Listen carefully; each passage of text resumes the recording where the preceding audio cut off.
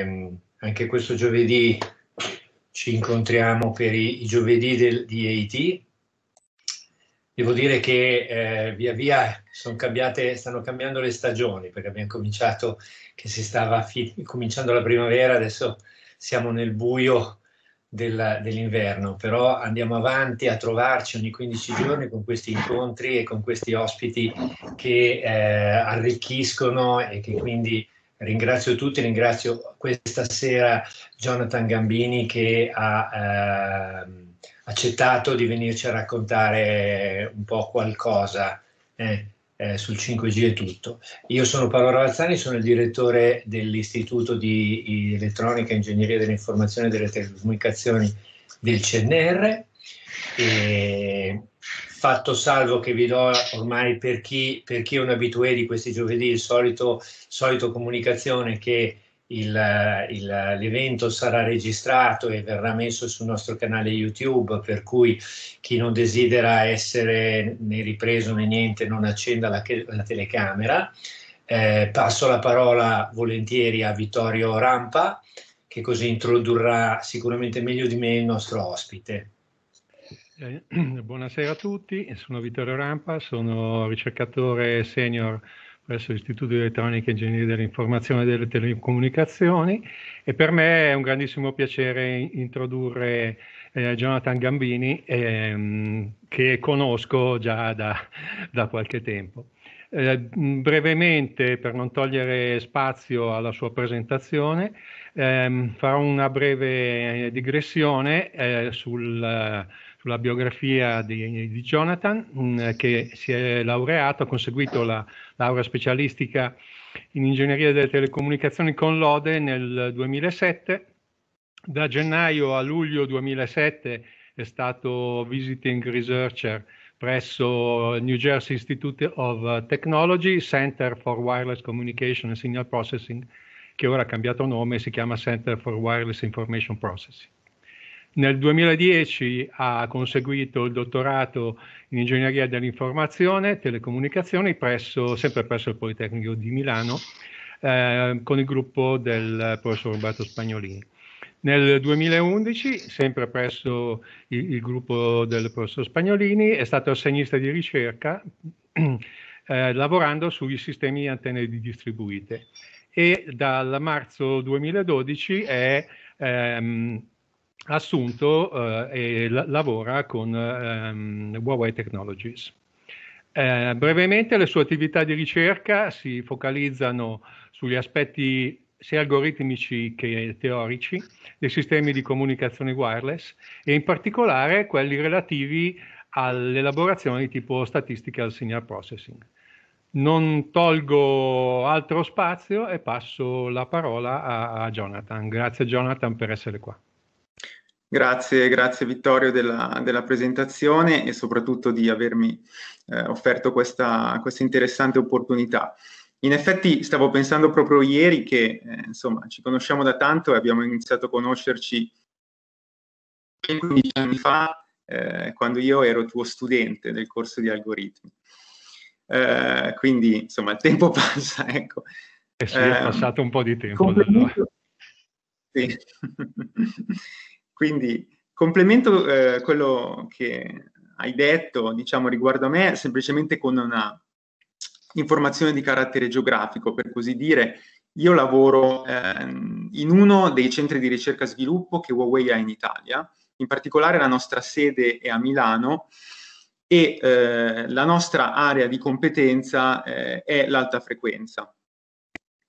Ora, eh, non me ne abbiano eh, coloro che si occupano di comunicazioni ottiche, ma per noi alta frequenza vuol dire tutti i sistemi di comunicazione con frequenza maggiore dei 6 GHz. Eh, ovviamente stiamo parlando di sistemi radio.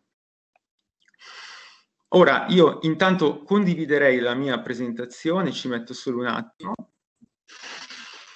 Allora, la mia presentazione di oggi fondamentalmente è contenuta tra questi due estremi tra questi due riferimenti temporali che vedete eh, comparire qua, no? abbiamo una situazione presente eh, caratterizzata dal 5G e eh, poi parlerò anche di alcuni requisiti, di alcune direzioni di ricerca che magari eh, riguarderanno sistemi per così dire, di futura generazione. In questo intervallo temporale piuttosto, mh, piuttosto lungo, perché per i sistemi di futura generazione eh, si prevede un orizzonte di almeno tra cinque anni, se non di più, abbiamo quello che possiamo chiamare come Beyond 5G. Ora, Beyond 5G mh, per me potrebbe essere definito come mh, fondamentalmente lo studio, il progetto di una serie di soluzioni. Stavo appunto dicendo, parlando di, di quello che è il, il Beyond 5G, che eh, io intendo come tutta una serie di, di uno studio eh, di, e un progetto di soluzioni per migliorare i sistemi 5G attuali e nello stesso tempo eh, per rendere questi sistemi 5G attuali anche più attraenti dal punto di vista di mercato. Ovviamente il 5G è qualcosa di estremamente vasto. Io eh, oggi mi volevo concentrare su eh, soluzioni che hanno come tema conduttore l'ambiente, ovviamente l'ambiente elettromagnetico. Quindi eh, passerò da sistemi che in qualche modo cercano di imparare ed adattarsi all'ambiente a soluzioni che in qualche modo cercano addirittura di adattarsi all'ambiente stesso. No? Eh, quindi questo è un po' il quadro in cui mi muoverò. Quindi iniziamo, come dicevo, dal presente, ehm, eh, anzi, più che presente, questa è una, slide, una slide per me un po' nostalgica perché, a parte la data 2020 che vedete qui, eh, mi riporta quando le, l'esperienza del 5G è iniziata, in cui non c'era chiaramente uno standard, ma quello che c'era erano dei requisiti che venivano espressi come fattori moltiplicativi abbastanza eh, importanti rispetto alle prestazioni del precedente standard trasmissivo, cioè il 4G e l'LTE. Eh, I fattori moltiplicativi erano del tipo, e sono del tipo 10 per, a volte anche di più, Ora, per ottenere queste prestazioni eh, nel 5G, fondamentalmente, quantomeno nel, per quanto riguarda il livello fisico, abbiamo seguito due strade. Una, quello di eh, allocare nuovo spettro, e l'altra, quella di impiegare un numero massivo di antenna, tant'è vero che si parla di massive MIMO, no? E questo numero massivo di antenna può essere sfruttato sia per la moltiplicazione spaziale e anche per fare tecniche di beamforming, quindi di focalizzare l'energia solo in direzione di interesse. Ora, come dicevo, il primo punto del 5G è stato allocare lo spettro. Abbiamo allocato spettro sia al di sotto dei 6 GHz, no? in cui la banda prevalente, eh, insomma, più di interesse è quella tra 3,4 e 3,8 eh, GHz, ma anche nella cosiddetta regione millimetrica. Qui invece la banda più eh, di maggiore interesse è quella compresa tra i 24 e i 29, quindi la prima bandina rossa che vedete. Ovviamente eh, a regione millimetrica le bande sono come, come, come, dire, più grandi, più larghe rispetto a quello che avviene a, eh, sotto i 6 GHz.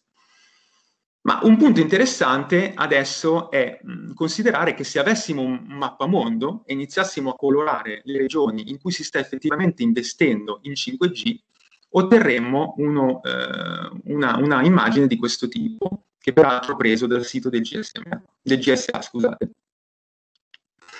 Beh, allora ci sono in generale 122 operatori dichiarati che stanno in qualche modo, eh, che hanno lanciato servizi eh, di, di tipo 5G. Ora, una domanda interessante è come cambierebbe questo quadro se io considerassi solo le frequenze millimetriche, in particolare tra quelle tra i 24 GHz e i 29 GHz? Beh, otterremo una, una figura di questo tipo. Um, chiaramente il mondo appare un po' meno colorato no, rispetto a prima. In particolare eh, ci sono 23 operatori eh, attestati, diciamo, che stanno attivamente eh, disponendo, installando reti 5G. Quindi se confrontiamo questo numero di 23 col precedente numero di 122, più o meno ne viene fuori un rapporto di 1 a 6, 1 a 5, insomma. Stesso rapporto viene fuori se guardiamo il mondo dei dispositivi. Cioè, nei dispositivi considerati non solo telefonini, quindi mobile, ma anche computer, no? ogni tipo di device cosiddetto, eh, di tutti com- i dispositivi che sono commercialmente disponibili, solo più o meno il 18% sono in grado di supportare eh, frequenze millimetrica, in particolare le frequenze che ho indicato prima, quelle del 24-29 GHz. Quindi mh, quello che ne emerge guardando lo stato attuale del mercato sicuramente è che è stata data una maggiore priori priorità alle bande sotto i 6 GHz. Questo perché? Beh, il motivo insomma, è molto semplice, eh, il motivo risiede di, di, tipo squisitamente propagativo, nel senso che ehm, propagare il segnale a 29 GHz innanzitutto eh, ha un'attenuazione di spazio libero molto maggiore rispetto a quello che succede a sub-6 e poi eh, c'è anche un discorso legato alla difficoltà con cui il segnale eh, riesce a propagarsi in ambiente urbano caratterizzato da diversi ostacoli, che possono essere edifici, eccetera. Se guardiamo però solamente l'aspetto eh, attenuazione da spazio libero, quello che uno può fare in generale per eh, rimediare a questo inconveniente, da una parte possiamo aumentare la potenza degli amplificatori di potenza, dall'altra incrementare il guadagno d'antenna. Allora, incrementare la potenza degli amplificatori di potenza sì, lo possiamo fare, chiaramente fino a un certo punto, perché ci sono poi dei limiti tecnologici. Per quanto riguarda il secondo punto, cioè incrementare il guadagno di antenna, che vuol dire fare antenne più grandi, di fatto nel 5G eh, le base station eh, adottano dei, degli array di antenne, cioè si adottano delle schiere di tanti elementi radianti in modo tale come primaria funzionalità di essere in grado di andare a concentrare l'energia verso una particolare direzione. Ora, un punto che è stato un tema abbastanza caldo nella ricerca del 5G millimetrico è stato capire che tipo di architettura mettere dietro queste antenne. Ci sono chiaramente varie opzioni da vagliare. Un'opzione potrebbe essere quella che è nota come architettura full digital, cioè nell'architettura full digital io a ogni antenna cioè sono in grado di fare processing digitale per il segnale catturato da ogni antenna. Questa struttura chiaramente molto, eh, ha prestazioni molto buone, ma ha un consumo di potenza abbastanza alto perché poi basta pensare, tra le altre cose, che tutti questi segnali in qualche modo di lavorare. Quindi avrò della potenza da dissipare.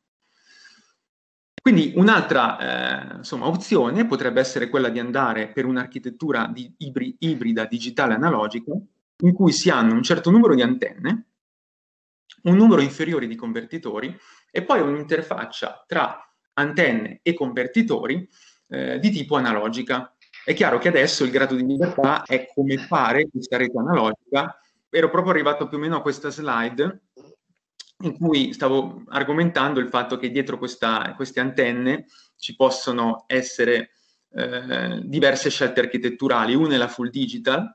Vado avanti di una slide e questa slide mostra una nuova architettura, cioè l'architettura digitale, eh, ibrida digitale analogica, in cui c'è un certo numero di antenne e eh, che passano a un certo numero di convertitori tramite un'interfaccia analogica. Questa interfaccia analogica può essere progettata in vario modo in generale e eh, cambio slide sarà tipicamente costituita da phase shifter, da ehm, piccoli amplificatori, switch, eh, tipicamente questi elementi e in generale vale un po' la regola che più la faccio complessa, più ottengo buone prestazioni ma ehm, probabilmente è più difficile da un, da un punto di vista realizz realizzativo. Quindi nella implementazione chiaramente devo bilanciare questo tipo di compromesso.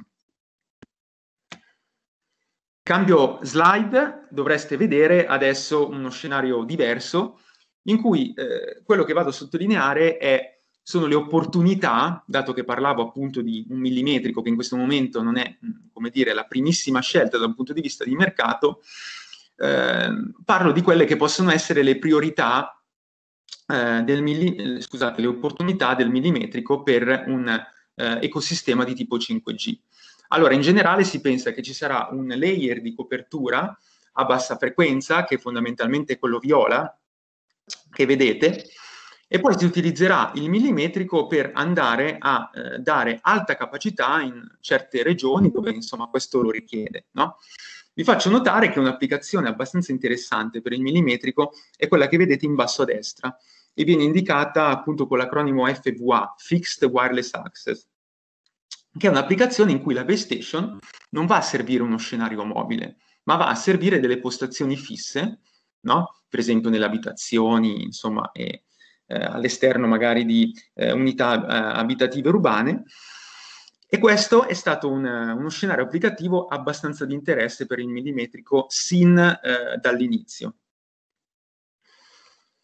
Benissimo, adesso ehm, dunque ritorniamo all'indice e eh, quello di cui vi parlerò adesso è un tema che sarebbe quello della possibilità di creare sistemi che in qualche modo imparano dall'ambiente e eh, imparino ad adattarsi all'ambiente. Okay? Questo per migliorare quello che eh, imparino ad adattarsi all'ambiente più di quanto non lo, fanno, non lo facciano già, ovviamente. Questo per migliorare alcune funzionalità, per esempio, dei sistemi 5G. Allora, facciamo una premessa prima di introdurre il primo esempio. Um, in generale nel 5G c'è una trama ben specifica, chiaramente, no? E all'interno di questa trama sono eh, riconosciute degli spazi frequenza-tempo abbastanza precisi in cui la base station andrà a trovare, andrà a cercare nuovi utenti. Come fa la base station 5G? Praticamente va a fare del beamforming, quindi dirige energia verso determinate direzioni e scandisce in modo sequenziale azimuth e l'elevazione fino a trovare nuovi utenti. La domanda è, posso fare qualcosa di meglio? Beh, in generale uno può pensare che una macro base station in qualche modo sarà installata in un ambiente cittadino dove ci saranno ostacoli, quindi ci, una, eh, ci sarà una distribuzione non uniforme degli utenti, cioè gli utenti tenderanno a essere concentrati maggiormente in certe direzioni. E questo è un punto. E poi c'è anche il punto che la base station può anche imparare i tempi di interarrivo di questi utenti. Ok? Questo dovrebbe essere mostrato nella slide di adesso. Um, quindi in qualche modo eh, la base station, imparando dalla distribuzione spaziale degli utenti e anche dai tempi interarrivo, potrebbe andare a progettare una sequenza ottima di scansione dell'ambiente elettromagnetico rispetto a quella che menzionavo prima, quindi la scansione sequenziale in azimuth ed elevazione. Questi concetti menziono solo che sono introdotti in questo articolo che vedete qua scritto a destra del professor Zoma, Tomasini e Zorzi, che noi conosciamo bene perché abbiamo collaborato con loro da diversi anni, e sono affrontati un po' per esempio questi concetti. Allora, io posso fare un passo ancora, ancora ulteriore in questa direzione, no? Se i, eh, gli, gli, utenti, insomma i pedoni, sono vincolati a, a, stare in determinate posizioni, ancora più lo saranno le macchine, che sono proprio vincolate a stare lungo la strada. Non solo, in generale posso osservare che per, una, per diverse macchine che passano nella stessa posizione, la base station tenderà a scegliere sempre gli stessi BIM per andare a comunicare con quella macchina in quella particolare segmento di strada. Quindi queste sono, eh, diciamo, eh, caratteristiche del canale che possono essere sfruttate dalla base station per migliorare qualche suo meccanismo. Per esempio in questo paper, che, eh, in cui uh, autrice che conosco è la professoressa Monica Nicoli del Politecnico di Milano, l'idea è da una parte di sfruttare il passaggio di eh, diversi di, eh, veicoli nella stessa posizione per andare a creare un certo database eh, sulle statistiche di lungo periodo del canale e poi sfruttare direttamente la posizione di, questo, eh, di questa macchina perché la base station possa immediatamente andare a selezionare il miglior set di beam da, ut- da utilizzare nella comunicazione. Quindi in questo modo, partendo da una eh, valutazione di quello che è l'ambiente, quindi la caratteristica propagativa, io in qualche modo sono andato a migliorare eh, la, eh, la, stima di canale eh, velocizzandone anche il tracking. E questi sono esempi che posso chiamare online, cioè esempi in cui eh, la base station impara e agisce di conseguenza. Ma mh, mm, vi cito adesso un esempio che chiamerei offline, no? di modo di eh, adattarsi all'ambiente. E questo è un, è un, frutto di una collaborazione che ha, qua a Milano abbiamo avuto col gruppo del professor Zorzi dell'Università di Padova. Abbiamo applicato questo discorso dell'adattarsi all'ambiente al progetto di antenna. Cosa vuol dire? Beh, Come dicevo prima, noi abbiamo gli array. No? Gli array eh, fondamentalmente ehm, vengono progettati secondo dei parametri esclusivamente di tipo elettromagnetico. No? Però questo array, come ho detto, diventerà una base station e diventerà un nodo della rete e l'idea che abbiamo avuto è perché non andare a progettare questo array tenendo in conto non solo parametri elettromagnetici, ma anche dei parametri di rete, prestazionali intendo. È chiaro che la cosa in prima battuta è un po' difficile perché eh, non è noto no, la relazione tra configurazione d'antenna e eh, prestazioni di rete. No? Allora uno come potrebbe fare? Vabbè, un primo approccio potrebbe essere quello della ricerca esaustiva, no? in cui io ho un simulatore che costruisco, lo alimento con una certa scelta di parametri, di configurazioni d'antenna d'ingresso, faccio andare in simulatore e tiro fuori delle prestazioni. Lo faccio per tu, faccio questa operazione per tutte le, eh, fondamentalmente, le scelte di configurazione d'antenna e alla fine scelgo la migliore, no? Quindi questa è una, eh, questa è una strategia che può essere fatta, ma chiaramente ha eh, il problema che può, può, impiegare molto tempo, perché magari una simulazione impiega diversi giorni, quindi ora che io ottimizzo tutto l'array con questa procedura, eh, magari in te, impiego diversi anni in macchina, no? che non sono sicuramente facili da gestire. A sinistra eh, vedete un approccio tipo ricerca esaustiva, insomma, che stavo dicendo in qualche modo eh, richiede un certo, eh, un certo, impegno a livello computazionale. Eh, l'idea è stata appunto di usare sempre un simulatore per andare ad associare delle, eh, degli ingressi uscite, quindi dei parametri d'antenna a delle prestazioni, no? e ehm, quindi creare un set di esempi per addestrare un'intelligenza artificiale e poi fare in modo che l'intelligenza artificiale andasse ad imparare il mapping deterministico tra parametri d'antenna, quindi configurazione d'antenna e performance di rete. Una volta che uno ha questo, chiaramente l'ottimizzazione è, ehm, è, molto, più, è molto, più, immediata, no? perché ho in teoria ho imparato un mapping deterministico, per quanto complesso esso possa essere.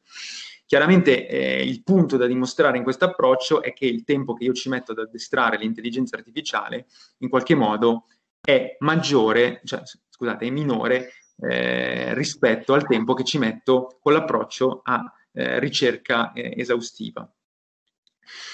Quindi il progetto in realtà alla fine ha dimostrato proprio quello, sia che eh, gli algoritmi di intelligenza artificiale in qualche modo fossero in grado di imparare il comportamento della rete, e sono a slide successiva in cui dovreste vedere due grafici, e sia che gli algoritmi di intelligenza artificiale fossero in grado di imparare eh, velocemente, quindi che questo training in realtà eh, fosse qualcosa che potesse essere gestito in modo abbastanza veloce. No?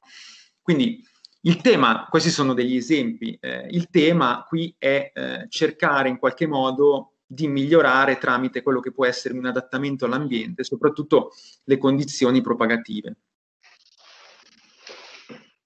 Ora, eh, slide di indice ancora, eh, che introduce il nuovo argomento. Quindi eh, un argomento un po' diverso, eh, nel senso che in questo caso ehm, tentativo, quello, quello che, su cui ci si sta focalizzando eh, dal punto di vista di ricerca in generale, è quello di fare sì in qualche modo che l'ambiente possa essere adattato, cioè l'ambiente diventi un personaggio, un protagonista attivo della propagazione, no? E non passivo, no? come invece viene comunemente eh, inteso.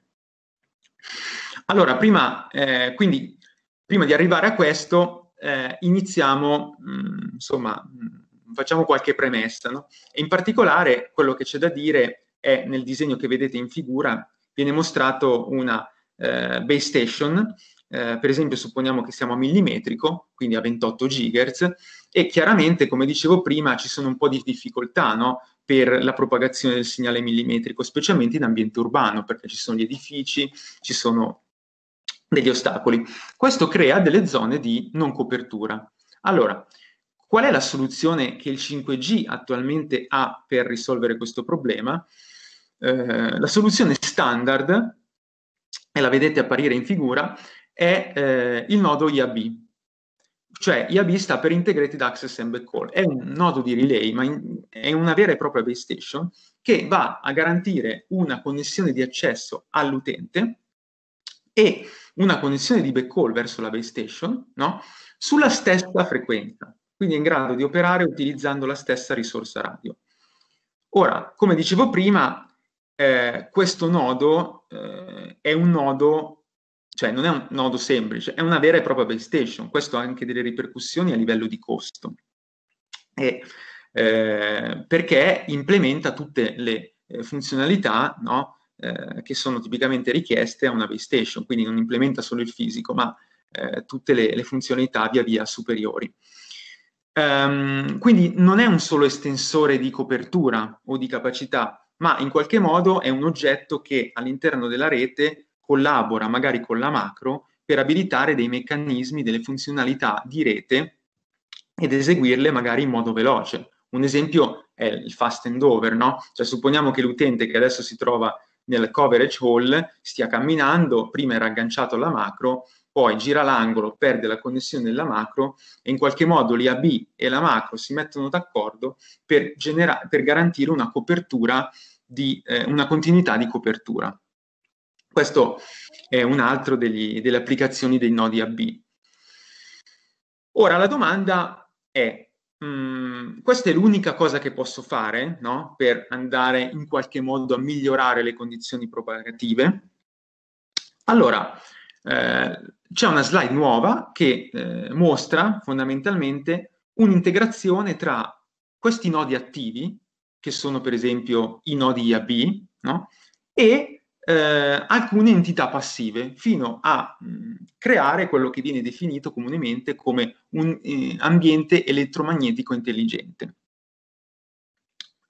Cos'è questo ambiente elettromagnetico intelligente? Beh, io l'ho provato a definirlo qui, può essere definito in vari modi, ma per me è un ambiente che in qualche modo sfrutta le proprietà elettromagnetiche di alcune entità passive, quindi stiamo parlando di entità che non vanno a eh, introdurre amplificazione nella catena di segnale.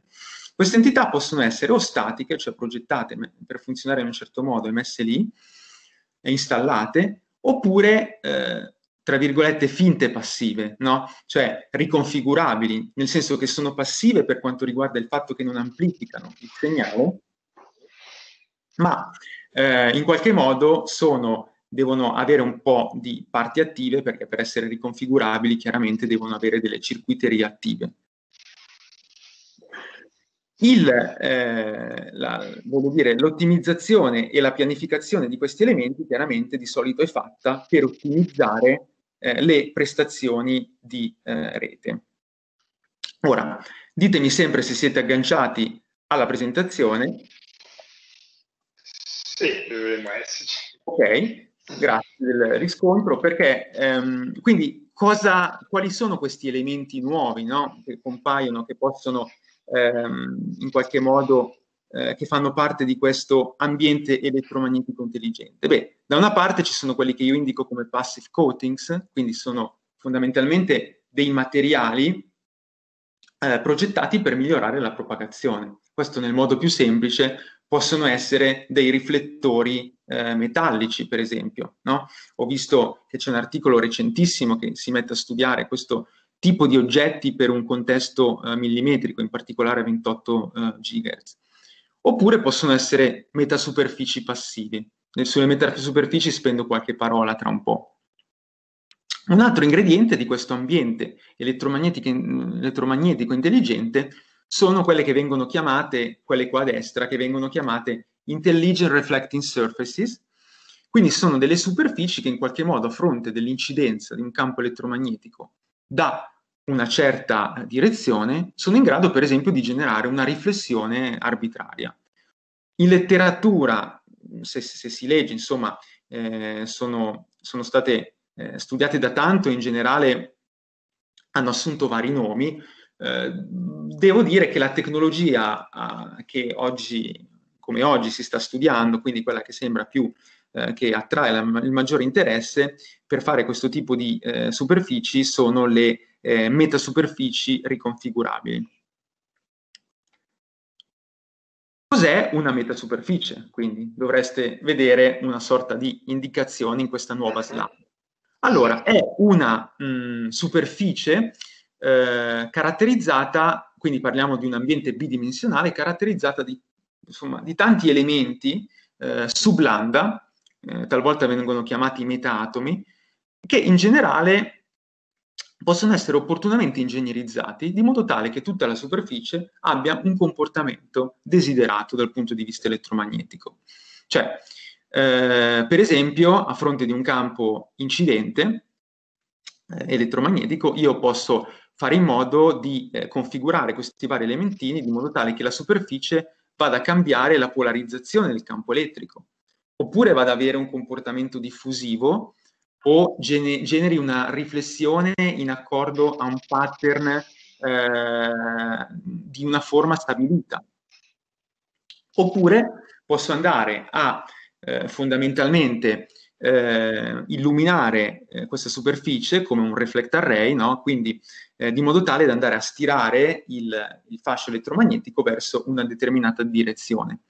È chiaro che il modo più flessibile di usare questa superficie è quello di renderle riconfigurabili, ma per renderle riconfigurabili quello che devo fare è introdurre, come dicevo prima, in questi elementini della circuiteria, quindi circuiti eh, integrati elettronici, di modo tale in qualche modo da cambiarne al comando il comportamento.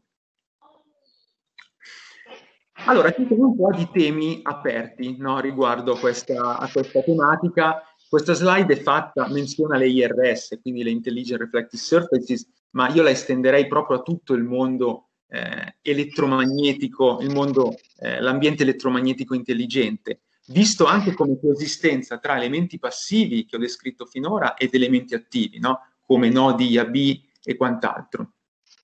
Allora, una prima tema potrebbe essere eh, come integrare queste superfici all'interno, cioè queste superfici in qualche modo eh, forse ehm, sicuramente dovranno essere degli oggetti molto semplici, no? perché devono risultare anche attrattivi da un punto di vista economico. Quindi avranno delle funzionalità ridotte, ma almeno avranno la possibilità di ricevere una segnalazione parte, da parte della rete. Quindi come progettare, come farle funzionare al meglio? Questo è un aspetto più teorico, cioè come ehm, in qualche modo eh, quello che manca sicuramente è, una, uh, è, capire quali sono i limiti teorici eh, verso cui ci si può spingere riguardo a queste intelligent reflecting surfaces. No? Quindi questa è una domanda più legata a prestazioni teoriche, ma una cosa ancora più interessante è dire io poi come faccio a pianificare una rete, a simularla, a ottimizzarla, una rete composta di tanti elementi, no? Tra cui ci sono anche queste intelligent reflecting surfaces. Sicuramente questo richiede uno sforzo simulativo notevole e che bisogna attrezzarsi un po' ad affrontare rispetto ai mezzi attuali. Ultima eh, riflessione, come dicevo prima, è che questi oggetti e comunque eh, questi oggetti che in qualche modo è vero che aiutano la propagazione, no? ma nel, d'altro canto il pacchetto completo eh, dovrebbe essere una soluzione attra- attraente dal punto di vista eh, di mercato per gli operatori che poi andranno a eh, installarle. Questo è un po' evocato dall'immagine che dovreste vedere eh, dei pali della luce, ne ho messi due. Eh, certo, i pali della luce evocano più un, un, uno scenario small cell, per così dire, no? Cioè, le intelligent reflecting surfaces molto probabilmente non saranno installate nei pali della luce, però questo cosa voglio dire? Che io devo pensare sia a farle economiche come soluzione, no? come costo proprio del componente, ma devo pensare che poi queste, queste entità andranno messe da qualche parte e dovrò pagare un affitto. Pagare un affitto sicuramente ha un impatto su quelle che sono le spese operative del mantenimento di una soluzione, può, può anche avere un impatto abbastanza significativo. Quindi devo anche eh, stare molto attento a ottimizzarne il deployment. Eh, quindi, e poi eh, chiaramente non posso installarle dove mi pare, nel senso che dovremmo prendere accordi con una municipalità o comunque con un'amministrazione territoriale. Quindi queste sono anche considerazioni pratiche, eh, un po' meno teoriche, ma che comunque vale la pena eh, tenere in considerazione. Ora passo alla slide successiva, eh, che ci tengo particolarmente che vediate, nel senso che eh, questa è un po' una domanda in realtà per me aperta per, per voi, no? che rappresentate il mondo della ricerca. Cioè la domanda è, può una convergenza tra teoria dell'informazione e teoria elettromagnetica andare a eh, dare dei benefici in termini di studio di quelli che sono i limiti teorici di questi nuovi ambienti che stanno nascendo. Cioè l'ambiente che abbiamo visto prima, quindi la, l'ambiente elettromagneticamente intelligente, ma anche altri contesti che sono nati nel 5G, come lo studio del Massive MIMO. Può questa, come dire, convergenza dare dei, eh, dei benefici? Allora, non è che me la sono inventata io, come vedete da, dall'immagine, nel senso che eh, già nel 1953 Gabor, che ha eh, vinto tra l'altro il premio Nobel per la fisica, eh, introduceva in un articolo un po' questo concetto. Dal punto di vista della ricerca, eh, affrontare questo tema è stata, c'è stato, ma è stato un po', a mio avviso, un po' intermittente. Però, mh, mm, insomma, sta emergendo come nuova frontiera e sicuramente potrebbe essere uno spunto interessante per analizzare questi nuovi sistemi che in qualche modo ehm, guardano da vicino anche l'aspetto elettromagnetico. Bene, ora cambio, completa, cambio, completamente argomento, no, resto sempre in scia, ma diciamo un argomento un po' più coi piedi per terra e mi aggancio in particolare al, eh, a quello che dicevo prima eh, sul fatto che eh, queste soluzioni in generale debbano essere attraenti dal punto di vista economico, no? Ehm, soluzioni intese come pacchetto completo, Um, in particolare il modello che, di cui vi parlo è un modello di business che è abbastanza interessante per me, che prende il nome di infrastructure sharing e potrebbe essere anche uno dei fattori magari che aiut- possono aiutare il deployment di quello che è il 5G millimetrico. Dunque, eh, qual è il concetto eh, di questo paradigma? Beh, allora, noi in una rete in generale, li vedete qui a sinistra, abbiamo diversi rettangolini, quindi sono diverse risorse.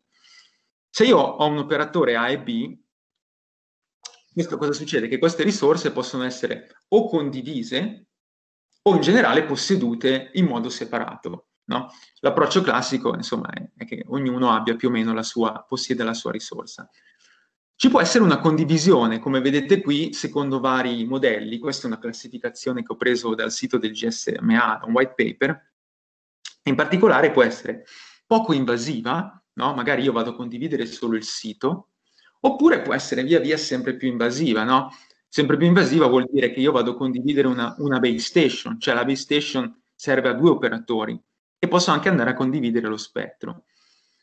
Le percentuali che vedete sotto eh, le ho prese sempre da questo paper in generale e mh, quello che vogliono evocare è che da un punto di vista di costi sia operativi sia di ehm, eh, di, di, mantenimento eh, di fissi, ehm, c'è un guadagno crescente a man mano che chiaramente aumenta il livello di, eh, di condivisione. No? Quindi, ehm, d'altro canto, i vantaggi non sono solo economici, ma ci possono essere anche vantaggi prestazionali eh, in particolare in termini di quello che viene chiamato statistical multiplexing, specie se vado a condividere la banda. Quindi eh, ci sono studi anche abbastanza interessanti in letteratura su questo aspetto. Quindi arrivati qui, una domanda, dato che ho detto che questo potrebbe essere un modello interessante per, il, eh, per lo sviluppo magari di reti millimetriche, una domanda spontanea potrebbe essere, ma si può praticare una cosa del genere o no? Eh, allo stato attuale delle cose? Beh, eh, la domanda in realtà è, insomma, è, è, abbastanza ampia, però per cercare di rispondere ho ehm, voluto focalizzarmi sul caso italiano. No? Eh, cosa è successo in Italia? Eh, per adesso in Italia sono state date in licenza, eh, per quanto riguarda lo spettro 5G millimetriche, millimetrico, scusate, le bande che dovreste vedere in questa slide, dal 26,5 al 27,5 a canalizzazioni di 200 MHz. Ora, quello che si prevede come utilizzo di queste bande è che um, ogni operatore che ha avuto un certo blocco in licenza utilizzi il suo blocco in modo prioritario, quindi ha sempre priorità sul suo blocco. Ma in caso che l'operatore vada a, ehm, a, installare la rete in zone in cui c'è solo lui, può anche usare i canali adiacenti, magari facendo degli accordi commerciali con altri operatori. E in questa frase, in questa diciamo, espressione accordi commerciali, secondo me c'è la possibilità di inserire un paradigma come quello dell'infrastructure sharing, di cui ho discusso precedentemente, chiaramente con un grado di condivisione opportuno, no? a seconda chiaramente della necessità. E questo eh, fondamentalmente, eh, con questo ho chiuso il discorso del, del, eh, de, dell'adattare l'ambiente, come dire, e vorrei concludere semplicemente solo con due slide ehm, relativi a quelli che possono essere sistemi già di futura generazione, chiamiamoli così, qui vengono chiamati come 5.5G, ma in generale cosa, cosa ci sarà in futuro, inteso come da adesso in poi? Beh, allora, quello che vedete qui eh, è un'immagine a cui dovreste essere abituati, è il triangolo del 5G, no?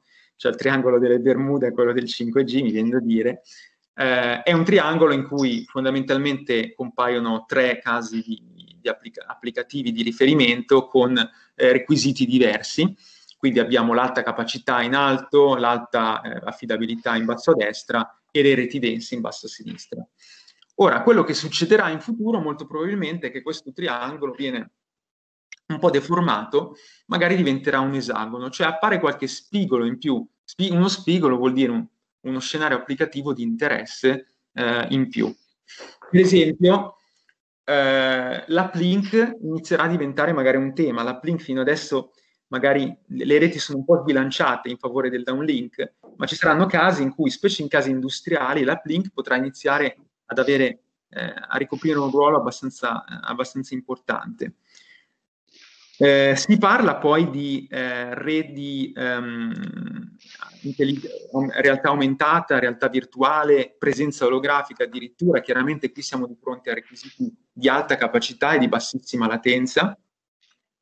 E poi chiaramente c'è il mondo automotive, quindi della guida autonoma, in cui chiaramente anche qui i requisiti iniziano a diventare quelli della bassa latenza e soprattutto eh, saremo di fronte a una rete eh, caratterizzata da eh, degli elementi eh, molto densi, quindi una rete molto densamente popolata. Bene, ultimissimo discorso su cui voglio spendere alcune parole è eh, le tecnologie abilitanti per, tra virgolette, il futuro, ma già se ne sta iniziando un po' a guardare adesso. Allora, la tendenza qual è? Beh, si sta iniziando sicuramente a guardare con interesse alle regioni dello spettro del terahertz, eh, che sono indicate da, eh, da uno di, questi riquadri nella slide. Um, terahertz forse un, vuol dire anche subterahertz, cioè si inizia a guardare sistemi che possono usare frequenze a partire dai 100 GHz in su, insomma, eh, per la comunicazione. Non solo per la comunicazione, perché molto probabilmente si andrà a integrare comunicazione, sensing e localizzazione eh, nello stesso dispositivo. Quindi questo è anche un tema molto interessante. Sarà eh, fondamentale andare a eh, studiare tecnologie che abilitino sicuramente questa direzione verso eh, regioni spettrali sempre più alte. No? L'intelligenza artificiale sicuramente eh, insomma, è qualcosa che è stato molto studiato in questo momento e probabilmente si concretizzerà in qualche funzione ben specifica nei sistemi futuri, eh, inteso come, sia come sistemi che imparano dall'ambiente, no? un po' come quelli che ho presentato prima, eh, a tutti i livelli, cioè ci possono essere benefici a livello fisico, di Mac e anche di rete, no? basta pensare alla sicurezza.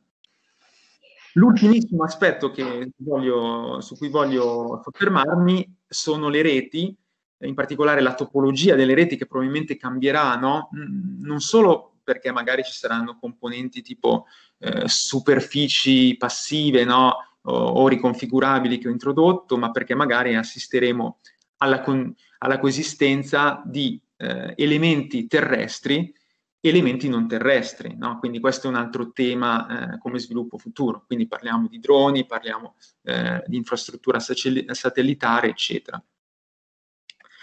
Bene, io vi ringrazio dell'attenzione, eh, che, eh, scusandomi insomma per gli inconvenienti di comunicazione che abbiamo avuto e spero che almeno nell'ultima parte sia andato tutto liscio. Quindi sono, rimango a disposizione per domande che, che avete. Grazie ancora. Eh, grazie a te Jonathan, un sacco di spunti interessanti e, e da meditare. Um, per chi come me si, si, occupa della parte, diciamo così, di sensing elettromagnetico e della parte di, di modellizzazione de, delle reti utilizzando appunto uh, una conoscenza uh, modellistica, sono sicuramente mh, delle cose che eh, che fanno pensare anche quella slide appunto in cui si vede Gabor che eh, diciamo cerca di fare una eh, di mettere insieme information theory con l'elettromagnetismo sicuramente è una cosa estremamente, estremamente interessante. Eh, la domanda che ti vorrei fare è proprio sulla parte di eh, transformative computing, quindi come eh, i sistemi di comunicazione, i sistemi di sensing e i sistemi di computazione, diciamo così, possono, potranno essere ehm, mescolati insieme nei sistemi di, di sesta generazione e oltre. Eh, secondo te come potrà avvenire questa ehm, contaminazione tra i sistemi di sensing, i sistemi di comunicazione e i sistemi di, di elaborazione? Eh, sì, beh, ok, questa sicuramente è una, è una domanda eh, molto, molto ampia, ehm, nel senso che eh, innanzitutto, eh, ok, pensiamo a, un aspetto di comunicazione, quello che molto probabilmente eh, si renderà necessario è avere sistemi in grado di fornire dati ad alta capacità, no? Eh, sto pensando a diverse nuove applicazioni che man mano eh, lo andranno a richiedere e anche a, certi, a certe eh, applicazioni che ho in mente, no? per esempio anche eh, uno, uno, use case che è noto con il nome di, di chiosco, no? cioè l'idea di avere delle postazioni in cui l'utente fondamentalmente va eh, a eh, scaricare dati ad alta velocità eh, in, in, relativamente poco, in poco tempo. Quindi sicuramente diciamo, questo sarà qualcosa di predominante.